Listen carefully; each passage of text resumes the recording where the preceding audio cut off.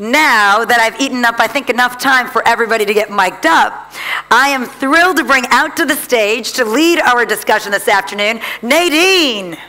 Come on out, Nadine. And our other moderators that are joining us, Kata, Tess, and Tunc. Now to start off, Nadine, Yeah. you've got a couple of stories. I think about three stories Nadine's going to show Yeah. us. Yeah, thank you, from- Laura. from the briefing. Uh, as you can see, it's very important to keep people at the center of everything we do because sometimes technology can be a little bit tough. But that's, uh, that's the point. Anyway, we got some very interesting content, and uh, I'm happy to say that uh, most of you, all of you, I should say, because uh, I have to be real, uh, realistic. Um, all of you, you, you, made, uh, you made the game and you tried to do something crazy. I know in our Good. business, daily life, it's not very easy to to become crazy because we are always expected to be serious, tracking the, the KPIs, etc. But this was the moment where we could make something completely different, like a kid. So let's start first with the first. Let's have a look at one of the production, the first enga- uh, engagement uh, scenario, which is about engaging speech. Can everybody see? Maybe we should move away. Uh, Sure. Why don't Kata and Tess, we just kind of move to the side a little. It's a very visual presentation this afternoon. Okay. Tell So- us about it, Nadine. So I think it's, uh, it's really, uh, on this one we can see that uh, it's about uh, not only about the content, but as you can see, it's about emotion again. Your body tells a lot and your body is speaking a lot. What do, would you say on this one? What would you add well, as a recommendation for an engaging speech? Any one of you? Tunc, if you want to start? I mean, uh, see, this morning we were talking about uh, mind and heart, and we told about when we see something, we react with our hearts. Uh, people think, how many people think that they feel with their hearts? Definitely a heart girl. I Heart. feel with my heart. Okay. Yeah. Who else thinks that they? Okay, some people. And how many people think that they think and feel with their brains? Because Yeah. The rest doesn't think. Anyways, so all of us, we think with our brains and all the emotions in the brains. There was a neuroscientist this morning, but I don't know if, he's still with us. So when you think with and feel with your brain, your body shows emotions, Yeah. physical Mhm. emotions. Exactly. And your heart, because it starts pumping more blood when you are more romantic or more, you are more, having more fun or the adrenaline is going up. So the heart doesn't feel anything or do anything. They just it pumps blood. But since we feel it, we don't feel our brains. We, we feel uh, some words. Today there was another presenter who mentioned that they we think 52% of the time there is Yeah. some other idea in our brains. I think So- that feeling what you Yeah. say is very important. Sometimes people are focusing on the text and they are just forgetting about the, the- how do Physically, they yeah. embrace what Yeah. they say. So yeah. Yeah. Anyone else? Yeah, Kata? Yeah, I would, I would uh, comment on this one. Don't pretend to be someone else. be yourself, because it will, it will show if you want, if you want to be someone else, and if it's not uh, genuine, that's what you are saying. And another, maybe another um, trick is less is more. So yeah. Whenever you are preparing to a speech, try to tell your key message in one sentence. If you can do that, you can give a speech over three hours on that key message, and if uh, you can give the same speech in two minutes. But always start with your key message and um, formulating it one sentence. Tess, you want to add something? Yeah, just a short note on authenticity. I mean, I've seen speakers who are uh, experienced and speak every single day of their lives and deliver a great message, but I've also seen speakers cry, fall down, crumble, snap a stiletto heel, asking for a friend. Um, and I think that authenticity will always shine through because it doesn't matter if you if you fudge your words or mess up or show a bit too much emotion or so on. I'd rather see that than not enough. Yeah, and if I may add something from my previous experience organizing multi, uh, multi-language ex- um, events, uh, when you have to talk in front of people who are not native from your own language, Just consider the person you have in front of you. Make the, the, the text simple. They don't need to reassess if you are good at English or good at Spanish or good at French. It's not the problem at the moment. Just make it understandable for everyone. And this is sometimes native people do not really do, which is not the case today because I have to say that all our English uh, native speakers are really uh, understanding that we are not all of us English native or American native. And this is very important as well. To, to be en- engaging, you need to make sure that everybody is understanding you. And I think sometimes the best messages are those simplified Yeah, messages. exactly. The, the most profound words in some of the speeches, uh, you know, John F. Kennedy, in his inaugural address in America, which was heard around the world, said, Ask not what your country can do for you, but what you can do for your country. My fellow citizens of the world, ask not what America can do for you, but what together we can do for the Exactly. freedom of man. Very simple, you know, and yet it's, it's memorable. Okay, so now because we are a little bit uh, on time, let's go to the second subject, which is engaging stand at a trade show or booth. Beautiful Try a wonderful product. Yes, experimenting the product, by the way, is interesting as Oh, much yeah. as you can do it. Great Yeah. hospitality as well, yes, especially food. a good coffee is always welcome and not expensive. That's true. Sometimes you're Yeah. organizing everything around the. You put a lot of money on the brochures. You put a lot of money on the on the panels, on everything, but you're forgetting a simple detail, which is how you welcome your guest. And this Mm. is also making the difference sometimes. And professional consultation, yeah, be very uh, professional. That was great. Okay, good. What would you have to say on this I have to agree on the food. I mean, I think in um, in terms of uh, a, an exhibition or a trade show, you have a small window of opportunity, so you need to throw whatever you can at it to get those people in. And if that's, you know, the difference between a frozen mini pizza and a nice piece of caviar on a blini, I'll go for the caviar. Yeah, definitely. And maybe some ice cream. Maybe some ice cream. Ice cream I think it's it's really depending. Now, anything we do uh, again is uh, is always to is always to be in line with the messaging, with the hospitality we want to deliver, with the people we have in front of us. Always keep the focus on what you want to achieve at the end. That's the only thing. If you keep this focus all the time, you will make it whatever the type of event. I Mm-hmm. think. Okay. Nothing else on this one? We can move to the Very third good. one. Our company can engage participants during an incentive event. Okay. So on this one, oh, why don't we have all of the? Uh, anyway, doesn't matter. So let's meet in November. It's a kind of, in, of teasing. So just how to say, well, we will have. So prepare, in fact, the event before it. Before it.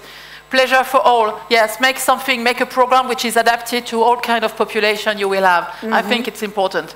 Wow, awesome team, one awesome team. So yeah, make sure that everybody is going to share an experience, which is, which is really building a team spirit. This is very important. And working hands in hand uh, on, during an incentive, it's also in, very good to reinforce this kind of a, uh, team spirit and to make sure that people are talking in the one voice. If you have people coming to an incentive and if you say, well, you know, this guy oh, is not good, no, you'll, you miss it. It's the moment where you all have to share something common in terms of brand experience, in terms of uh, messaging you will deliver about the brand. Yeah. Anyone? It's just maybe one aspect to consider if you're organizing uh, several day events. Always mind the fact that people dedicate a big part of their private time to your brand, to your event. Yeah. So make it, make the most out of it and consider this aspect Yeah. as well, because those people could spend their time, that time, with their families or with their hobbies. Very It's well said. Yeah. Someone else uh, want to add something? No. One thing sometimes we consider incentive uh, on, in a way which is, okay, it's pleasure, it's reward. Yes, it is. But it's also an opportunity to talk with the people who are selling your models, who are doing something for you. So it's always a good moment I mean, to, I uh, can to add show. something uh, on incentives. So this is the one for sponsor, for sports event, yeah? They look good. Getting ready. That's awesome. Winner a taxi all. Nice award. So you organize the experience of the guest. It's, uh, it's related to the, to your event, but it's also a way to, to show uh, uh, something different, something uh, where they, they feel the they feel the event and they're yeah it's a it's a funny one. And it's very human. You know, Yeah. it's very identifiable. I want to hang out with all of them. And So- during a sports event, of course, usually you are spending a lot of money in the sponsorship because uh, companies like yours or like Nissan, I, I used to know, are spending a lot of money in this kind of thing. You need to make sure that everything, everything you do in this kind of event is really getting the money back in a way. So it's very important to, to make sure that the experience will be at the level. Don't, don't say, okay, but I spent so much money on this sponsorship, I don't have more money to, to organize a nice hotel or blah, blah, blah. No, no, no. It's, uh, it's useless to, to make this kind of saving. Very good. Anyone? Yeah, I please. share- uh, Can I share a rule that we have uh, at Heineken that um, the one third, two thirds rule is that one third of the money is going to the sponsorship itself, but two thirds is going for the activation of the sponsorship. course. So this, Yeah, Yeah, I mean, when so you that's, spend yeah. yeah. when you spend money on sponsorship, if you just pay the sponsorship, then you throw it up to the garbage. Yeah. Because uh, you have to have a communication strategy around that, that sponsorship. You have to have events around that sponsorship. You have to have other activities. If it's if you are, for example, we are also sponsoring the uh, women volleyball league in Turkey because it's the best sport. We got all the championships in the world, national and uh, team-wise. But if we just spend the money on the sponsorship and our logo is there, it doesn't mean anything. We do activities in the matches. If you are a fan, when you go to a match, you want to do something. You want to participate because when you are there watching, even if it's esports or a real game, you want to be one of those athletes, one of those players. So you have to give them a chance to participate in the event somehow. Also, incentives uh, in the sports, gaming, or whatever incentive you gave, it shouldn't be a burden. For example, we made that mistake. We for this year in the World Cup, we made a promotion. We were selling TV sets, and we said, okay, if you buy these TVs, you can go into this uh, lottery, and if you win, you can go to the World Cup. Yeah. But they pay for the tax, and uh, we pay. We cover everything, but they pay for the airport and uh, uh, other taxes, and nobody went. Oh. So we have to send our dealers instead of the customers because they didn't go. So when you are designing an incentive, you should be careful about not to make that incentive a burden to the customer, so it can it won't backfire to you. Yeah. Very good. Okay, so just to, to move to the next step of this uh, conclusion debate, maybe I think we can applaud all of you because you did a great job. Thank you. Very good. Uh, just before we leave this room to, to have some rest or to go back to our hotel, globally, uh, I'd like to ask you two or three questions. Uh, do you think, based on everything we, we heard today, uh, do you think we can globally engage everyone, every type of population, or not? First, and yeah, if yes, in which way? Is it in the same way or is it in a different way? What do you think about that? Change, yeah. Okay. I believe uh, to get engagement, you have to do. It's about people, as I said in the morning in my presentation. So you have to get the insights about people and what drives them, what motivates them. Every age group, every different uh, profile, every cultural background has a different motivator. So when you have to do first a market research, and they, you, are, you have to find them what motivates them or what kind of platforms hmm. motivates them. So you can do something on digital, you can be some, do hmm. something outdoor. So to get the engagement, you have to be looking into the target audience drivers. Yeah, definitely. Tess? Very good. I think you already I f- mentioned it in your presentation. Yeah, I fully so- agree. I mean, and I think to, to add another component to that, you know, it's even if you have the most sought after platform in the world, it's about who you put together in that. I, I give an example, and I use one that's appropriate at the moment uh, football. Um, the, the VIP box in the Rio de Janeiro World Cup final held 12 people. So, you know, you have your two hosts, for example, and then you have five relationships because you generally are going to invite pairs. And, you know, the risk is if you put people together that don't belong together, there's no common language, there's no common etiquette at a sporting event, there's no common age group, then you're going to have a captive audience of people who by default offend each other. So even, you know, that hot ticket to the best event in the world, it all comes down to who you're in a room with at the end of the day. So your audience selection and your nomination criteria is first and foremost before you even decide on your event platform. And you, Kata? Yeah, I totally agree. And um, you have to do your homework. That's, that's the thing. You have to know your audience. And uh, um, whether it's a five person event or a 300,000 event. And uh, I think, I believe that uh, every person has a trigger, a motivational mm. trigger. Mm -hmm. We just have to find that. The challenge is when you have a very diverse audience. You have a great, very big event, great event with selected VIPs, but also you have to satisfy the crowds and you have to meet their, their expectations. So you really have to consider um, satisfying everyone. And mm. I think our, our um, job, our secret is to to work on setting the expectations already. So your homework before the event is very important mm -hmm. yeah. because that's you who sets the expectations of the visitors. You, that's you who can set the expectation of, your, of, of your attendees, and then it's your job to satisfy that expectation that you have chosen. At the end, if I may understand, at the end it becomes the one-to-one -one event somehow because it's mm -hmm. the mm-hmm. single event. For the person you are getting to the event, in fact, it's only it's her or his event at the end. It's not your event anymore. It is the event of your participant, but it has to be a single event because it's more or less. We do a lot of marketing, one-to-one marketing now. Very mm -hmm. lot uh, of, uh, of um, um, of, yeah, of, uh, I don't remember the word, but anyway, so we do one-to-one marketing anyway, and we should do somehow a one-to-one event, even if we are inviting mm -hmm. more than 3,000 people. And that's yes. what we experience. Every, everything goes into the direction of being personalized. So mm. events should be personalized. Exactly, well. yeah, exactly.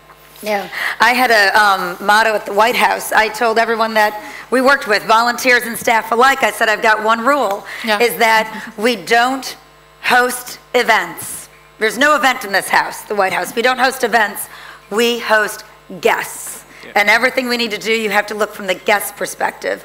Because you can have an amazing room with the best linen and floral and lighting. And if one person can't get a drink because the line's too long, forget it. If one person can't hear because your audio's not right, if one person can't see, if it's too cold in the room, you know, you might as well have lost them all. So I, I love the focus that's been given today through everybody speaking about the power and the focus on the guest. I think that we are moving from product marketing to customer marketing mm. to. Mm -hmm. and it's the same for everything. We have to focus on the target. We have to focus on the person we are doing the thing. Yeah. Yeah, definitely. Um, one more because before we, we stop this discussion. Uh, has a final uh, tip or as a final uh, uh, experience, based on your experience, what would you recommend to everyone here in this room? Uh, what would you do for engagement? What would you do as a, as a, as a tip to engage people? What is engagement for you? Yes, yes, please. So for me, it's what I call the third dimension. So all too often, I still see events that have the audience dimension one, the event dimension two. And in a world where you can dine in the sky or under the water or fly to the moon in the next few years, it's not enough to have two dimensions. So for me, my, my tip is always to overlay a third dimension. And just as an example, you know, you have a great audience, you have a Formula One weekend in Monaco anyone can do that. It requires a budget and it requires a guest list. What they can't do is overlay a third dimension. For example, turn it into a content-themed event around the future of auto, uh, driverless cars, the, the future of automobiles, the robotics in the automotive industry. Overlaying every single event with a third dimension just makes it harder for your competitors to, to compete. Mm -hmm. Yeah, for me, engagement is not the goal, it's not the objective. For me, it's a tool how to get to my objective, how to reach my goal. Um, and maybe it's not the best uh, place to say that, but um, events are not always the best uh, tools for engaging people. So you always have to consider your objective and find the perfect tool for that. That's, that's our, sorry. You cannot no, solve very good. You cannot solve 100% of the problems with one solution. Yes, yes. Mm -hmm. You want the whole package. Yeah, of course. And Tunc? I think, I think uh, you know, people are afraid to make mistakes. That's the reason when you are in a presentation like this or an exhibition where if somebody asks you a question, you don't want to answer because you don't want to make a mistake. But events and whatever you do, it involves people, and people involves mistakes. Hmm. So you should be you should be frank with your you know out out fall, fall downs, setbacks, and stuff like that, and don't worry about too much. You should just let the flow go, and uh, eventually everything will turn around. And if it's a frank and uh, people-based approach, everything will work out fine. So you shouldn't be too worried about what can go wrong because many things can go wrong. You should just focus on the people and making them feel everything is going smoothly. Yeah. Then everything will be set. Mm-hmm. And you, Laura, because this time is my turn to lead the Oh, discussion. well, so yeah, I was going to can say get my, it from you now. My, my best tip on engagement is for all of us to be at the shuttles at 7:15 in the lobby this evening to make it to the boat. I'll leave it at that. Thank you. 7:15. Thank you very much to everyone. So now I have the responsibility to make a kind of wrap-up conclusion on this one.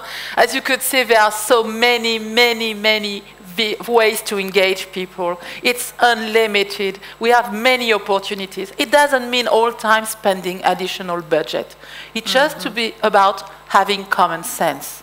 Just focus on the people, focus on your objective, and that's it.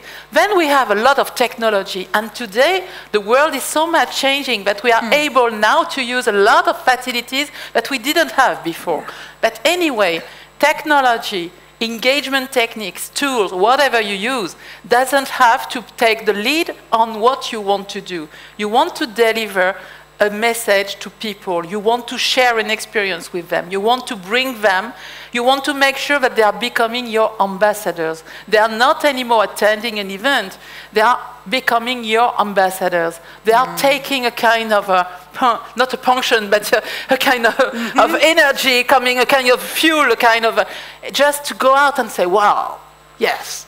And I remember one of uh, a very uh, famous uh, advertising company said, the best ever event is the event you didn't attend, and finally you said, wow, I missed it.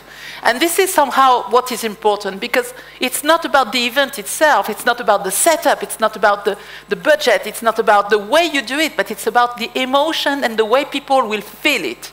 And this is how to engage people. So globally, what does it mean for engagement? Engagement is increasing memorization. It's increasing, increasing the commitment of the people. It's increasing a lot of things just to make them around. It's engaging also, um, it's creating, sorry, uh, engagement brings more activation of the people. So they are not static anymore. They are not watching a video. They are in the video. They are becoming actors. This is what engagement is bringing as well. And uh, at the end, it's, it, there needs to be a very strong connection between what you do as an engagement technique and what you are. Not only what you want to deliver, but what you are. Because if you are lying, if you are not 100% aligned with what you say, people will immediately know it. Mm-hmm. And I know Pablo didn't mention it today, but the new generation, they are really looking for meaning. They don't want to be told something. They want to make sure that what you're saying is really the truth. And they have many ways to check. And they are not always saying, well, yes, I agree with you. Yes, I agree. No, no, mm. not anymore. They're immediately saying, are you sure? Are you really saying the truth? So this is where you have to be very careful as well. And ultimately, engagement is creating, of course, a team spirit. And as I said, it's making you, your, your visitors, your uh, um, attendees becoming ambassadors of your brand. And if I could make a kind of parallel with the uh, film director, because this morning we, we, we heard about a little bit about this one. A film director, when he's creating, creating a movie, he is thinking about all the effect he will put in the movie. You have, of course, the, the, the, the, shape of the, of the actors, you have the style of the actors, but I mean, it's not only about the scenario, it's not only about the images, it's also about the effect. Because this is the way for him to drive the spectators in the direction he wants to mm-hmm. bring them. It's the way for him to, to make sure they are always captivated and always following the film. And somehow, for me, engagement techniques, whatever you put as an engagement tool in, the, in an event, is just to do this job. And, uh, and that's it. And thank you very much. Nadine, thank you for directing us. Thank you very much. Nadine, I- I everybody. it as much as Cut you the did. and test. Thank you Thank all. you very much.